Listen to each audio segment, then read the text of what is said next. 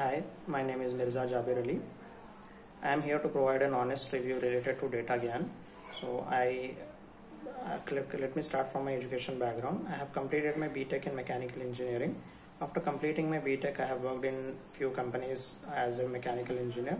Then I worked for a couple of months in Kuwait as well as a mechanical engineer.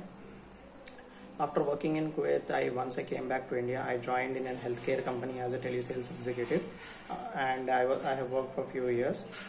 During these years, I wanted to grow in my career, and I was trying to learn any new skill which could help me in growing in my career and fast forward my career.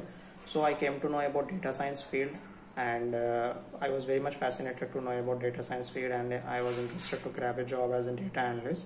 So I was searching online to get an institute which could help me in learning these skills in an easier manner as I am from a non-IT back education background. So I came to know about Data Gyan. I have searched for many institute in this process. I came to know about Data Gyan online while searching on YouTube. After uh, coming, I spoke with Ranjan sir after speaking with Ranjan sir, I had many doubts in my head and I got it cleared from sir and he guided me and he helped me. So how he helped me in giving the information how we can grow in my career as an in a data analyst role.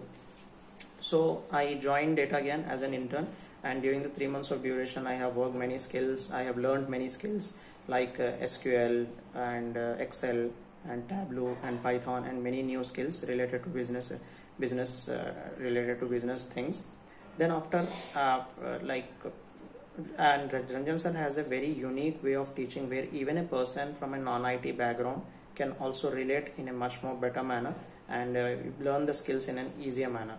So if anyone are looking to learn the skills of data science and grab a role of data analyst, I strongly recommend to join Data Gyan without having any second thought where you can get a good mentor as Ranjan sir.